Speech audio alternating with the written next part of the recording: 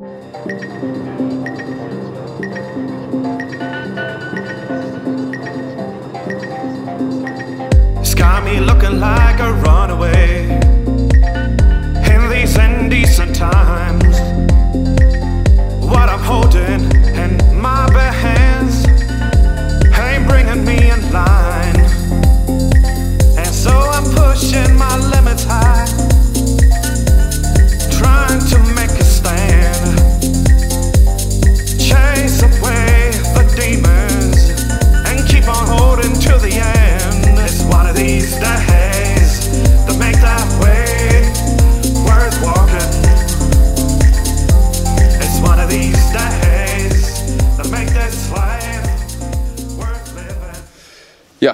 Wunderschönen guten Tag Leute. Wir sind hier heute an der Eider an einer neuen Strecke mit einer neuen Person und zwar ist Friedhof heute dabei. Der war ja schon in Dänemark dabei. Wir fahren dieses Jahr auch zusammen nach äh, Mecklenburg-Vorpommern, war das glaube ich, ne? Oder wo fahren wir hin?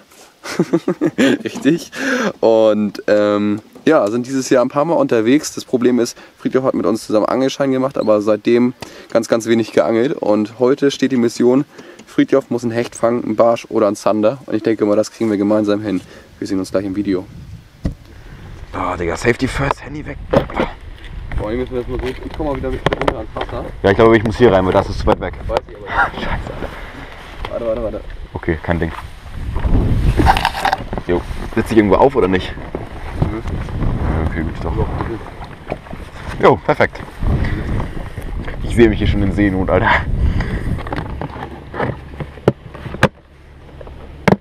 So läuft das jetzt hier? Ja. Und? Ja. Oh, ich hatte schon Biss, Alter, ich schwör's dir. Erzähl doch nix. Doch. Mach mal kurz, ich muss noch mal kurz hinwerfen. So, jetzt geht's los. Ja, Also, du wirst aus, versuch mal deine Hand vor die Rolle zu bekommen. Genau, so. ja. So fische ich immer. Gewöhnst dir gleich an, ist viel geiler, du hast mehr Gefühl. Und dann diesen Zeigefinger so an diesen Ruten lenken. So. Ja. Versuch mal auszuwerfen. Irgendwie so ein rechts neben das Seerosenfälter. Oh. Ja, das sah gar nicht so schlecht aus. Ja. Dann klappst du um und nimmst die Route so auf. Schräg auf, oder was? Ja, genau, so auf Gefühl. Auf 8, 9 Uhr so. Ja. so. Und dann lässt ihn runterkommen. Machst die Route mal gerade, sodass die Wolle unten ist. Genau.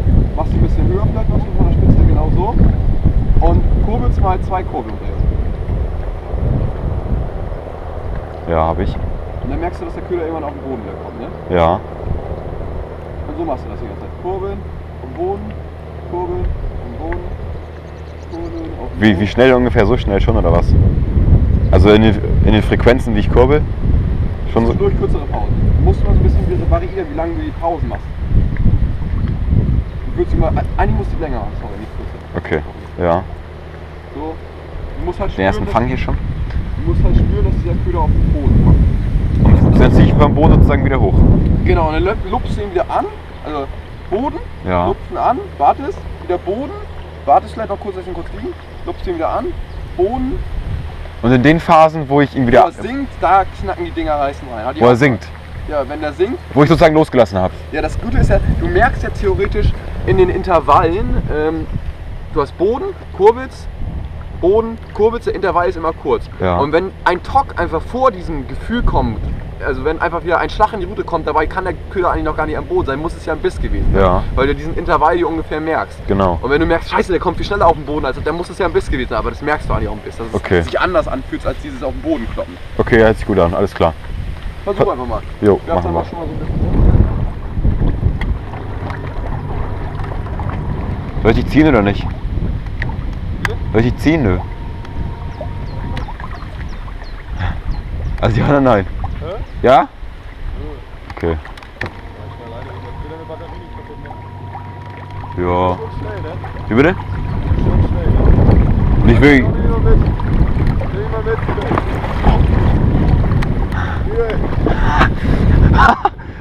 Warte. Das Band erstmal losknoten hier. Ja, das geht zum Beispiel nicht, weil du direkt dahinter, gerade hinterhängen musst, sonst funktioniert das nicht. Warte hier, halt einfach fest.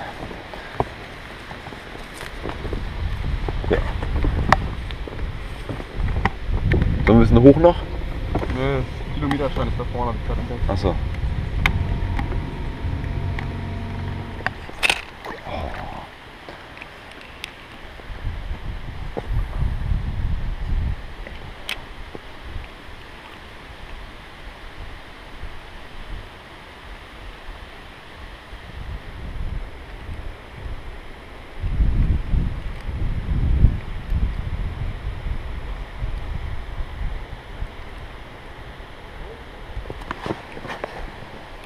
So, der erste Fisch da drüben. So Leute, Andy war wieder im Barsch. Juhu! Wir gehen leider mal in den windgeschützten Bereich, nur dass wir noch ein bisschen abangeln. Also kann man auch nicht fangen, Junge. Was hast du jetzt verändert? Kannst du den Mechanismus kurz angucken? Da Ja. du ein bisschen die Seerosen achten. Du musst bloß beachten, dass der Haken da so im, im Rücken so. Verstehst du? Ja, Der okay. kommt theoretisch, wenn er raufbeißt, kommt der Haken raus. Checkst du?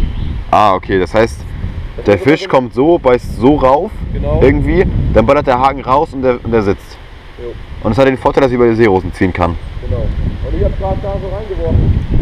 So. Ja. Einfach da diese Holzfläche. Und da stand der Barsch. Da ist dann immer nicht die Seerosen natürlich, sondern so ein bisschen dieser Bereich, wo es Mix aus Seerosen und Freiwasser ist. Ja. Wieder einer? Ja, hier läuft's für den Barschen.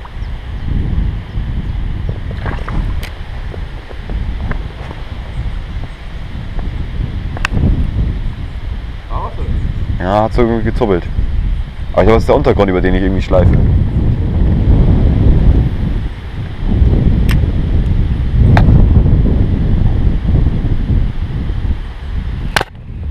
Jo. Nee, ist, er hat doch ist auch dran. Schön hier. Ja, sauber. Jetzt wieder ganz schön, aber jetzt habe ich nur ein kleiner. Ganz kleiner, ja. Schön, Digga. Sauber. So, kurz gezuppelt. Was ist? Hol ihn über Bord. Kurz gezuppelt. So, erster Fisch hier. Kurz gezuppelt, angehauen und- dann war er fest. Also Leute, mein erster Raubfisch auf einen Kunstköder. Kleiner schöner Barsch. Mit Jig nah an die Kante geworfen, bisschen neben den Seerosen. Schön. Ja, Freunde, Friedhof hatte gerade schon den nächsten Barsch. Ähm, wir haben jetzt eine Zeit lang mit Gummis geangelt. Das hat auch relativ geil geklappt. Ich habe da so eine, ähm, wie heißt das? Ähm, so eine, so Offset-Gummis, glaube ich, sind das. Mit irgendwie 5 Gramm und dann Gummi drauf, Friedhof-Fisch, irgendwie Kitech oder so. Ich habe äh, die neuen Lornette-Köder drauf gemacht, weil die noch äh, zwar schon in Einsatz kamen, aber letztes Mal nicht so gut gefangen haben. Aber in der Sphäre, weil da auch, aber auch allgemein gar nichts ging. Das lag nicht an den Ködern. Und jetzt habe ich die gerade mal auf dem Offset eben drauf gehabt. Irgendwie, ich glaube, zwei Stunden gefischt. Insgesamt, glaube ich, sieben, acht Barsche. Also richtig geil ins Cup einmal mit reingeworfen, haben auch richtig gut gefangen, haben die so weggezogen. Die Barsche war, glaube ich, dieser Ninja-Shed in so einer grünen, grellen Farbe heute bei dem bedeckten Wetter. Und jetzt haben wir gerade eben auf Wobbler gewechselt, Friedjof, und hat da gerade richtig viele Bisse gehabt. Ich dann auch gewechselt, in so eine kleine Seerosen-Einfahrter geworfen. Und einen Meter vor dem Bellyboot sehe ich, wie so eine Futterluke sich einmal über den Köder stülpt und war das ein schöner Hecht. So Leute.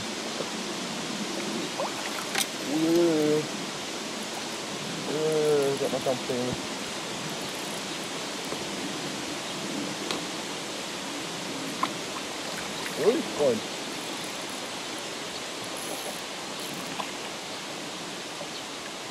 Und hier richtig Dampf nach dem Leichen, die Jungs.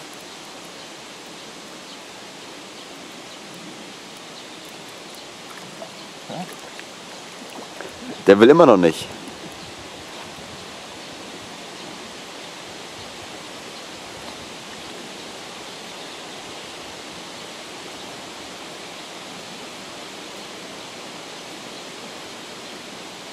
Ist er. Na, darf er wieder. Hier ist mein Kumpel. Sehr schön, der erste Hecht heute. Geil, so kann es weitergehen.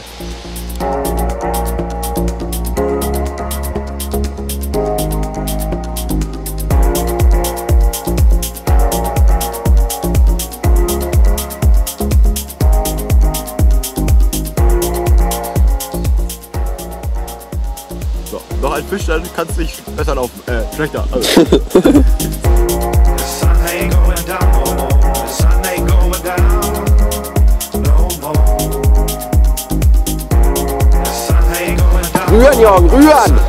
Da muss man gerührt werden, Jorgen! So zu später Stunde melde ich mich auch nochmal. Ich habe gerade einfach mal, wir waren hier am Steg und haben hier so ein bisschen auch flaches, auf Flachwasser geangelt. Einfach mal aus Jux und Dollerei nochmal in die Fahrräder geworfen, langsam durchgezogen, bisschen gejickt und da ist dann dieser doch, wie ich finde, echt gute Barsch eingestiegen. Größer als mein erster. Ich freue mich, der Tag ist nochmal gut zu Ende gegangen. Jetzt bin ich auch noch heiß, jetzt bleiben wir noch hier. also, weiter geht's. Da kommt wieder ins Wasser.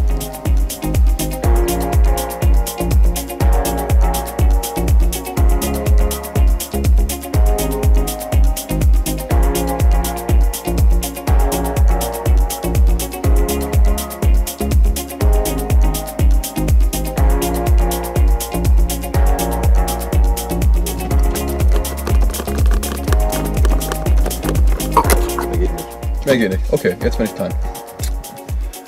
So Leute, wir haben unseren Tag. Äh, na fuck.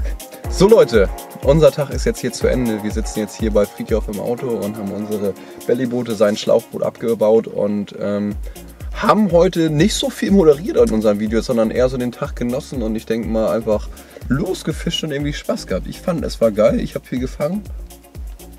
Also ich muss sagen, ich war nicht so angelbegeistert wie die Jungs, aber der heutige Tag hat auf jeden Fall dazu beigetragen, dass ich auch jetzt Bock habe, aufs Wasser zu kommen. Einfach das zu, also man kann das nicht so wirklich fühlen, aber das zu fühlen, wenn du jetzt einen Biss hattest oder wie einfach dieser Bock immer mehr da ist, dass du denkst, ja, ah, da werfe ich nochmal hin, das Fisch will ich jetzt haben, so in Anführungsstrichen. Ja, Äh, also dass dieser Bock einfach mehr geworden ist und man muss es einfach machen oder gemacht haben, um da so eine Empfindung für zu haben und ja, ich habe, wie ihr im Video gesehen habt, also einen Anfangsbarsch, der war schon echt cool fürs, fürs Feeling, fürs Erlebnis einfach.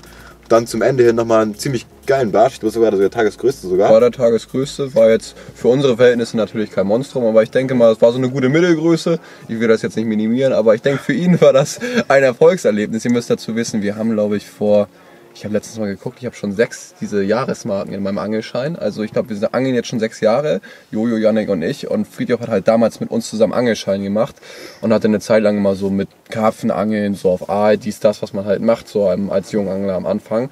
Und hat jetzt eine ganze Zeit lang nicht geangelt, hat glaube ich so eine Jahresmarke bei sich im Schein gehabt. Und jetzt haben wir halt so gesagt, weil wir jetzt nach Mecklenburg wollen, alle zusammen im Sommer zu Markus Oppenmann, zum Labussee, zum Gobenow-See und zum Kleensee, glaube ich, und wollen ein bisschen Barsch und Zander angeln. Haben wir gesagt, müssen wir Friedhof jetzt natürlich irgendwie auch mal dazu motivieren, dass er auch mal die Angel schwingt, wenn wir in Mecklenburg sind. Und deswegen haben wir heute einen kleinen ersten Angriff gestartet hier in der Eider und ich denke mal, das ist gut abgelaufen. Bock ist jetzt auf jeden Fall da auf eine geile Angelwoche in Mecklenburg, auf Sommerfeeling, Urlaubsfeeling. Der heutige Tag war schon mal vom Wetter her voll in Ordnung, echt geil. Äh, vom, vom Fahren her mit dem Schlauchboot und sowas hat auch alles top funktioniert. Wir haben dann natürlich nachher dann ähm, Motorboote und nicht mehr jetzt Bellyboote oder sowas fischen da, also mit Motorbooten. Das heißt, das ist vielleicht auch nochmal eine Nummer cooler, die Barschberge da so anzusteuern. Und ich denke mal einfach, dieser heutige Tag hat bewiesen, dass man innerhalb von einem Tag Spinnenangeln lernen kann, erste Erfolge Ja. erzielen kann, auch wenn jetzt Fall. kein Hecht dabei war oder kein Zander. Ich denke mal, so ein grobes Feeling, was Jiggen heißt, was Wobblerangeln heißt, was Schleppen heißt. Auf jeden auch, Fall. Auch wenn man hier gar kein Schleppen darf. ähm, Keiner gesehen. keiner gesehen. Ähm, ich denke mal, ein grobes Feeling dafür hat man einfach entwickeln können innerhalb- innerhalb von einem Tag. Und äh, ich denke mal, jeder, der einfach sagt, Angeln ist uncool oder, oder was ist an Spinnangeln schon dran, der hat es nicht ausprobiert, hat noch diesen Nervenkitzel gehabt, wenn man Biss hat, wenn man Hecht sieht, wenn, wenn Barsch hinterherkommt. Barsche kam heute hinterher. Barsche kam hinterher und dann aber nicht rauf auf den Köder gegangen. Das, ah, das packt einen so richtig. Da, also weiß ich nicht. Also Da versteht man den Jojo, wenn er so rumschreit in manchen Videos, so, "Äh, die scheiß Barsche hier. Ja, also wirklich mit Emotionen verbunden, muss ich wirklich sagen, dass man wirklich denkt, ah, scheiße und so. Also, echt. Mal eine Faust auf den heutigen Tag oder auch nicht. So eine Faust. Hat geschockt. Auf Mecklenburg. Wir sehen uns im nächsten Video, Leute. Fliegenfischen ist ja im Moment das neue Topic. Haut rein. Ab nach Hause.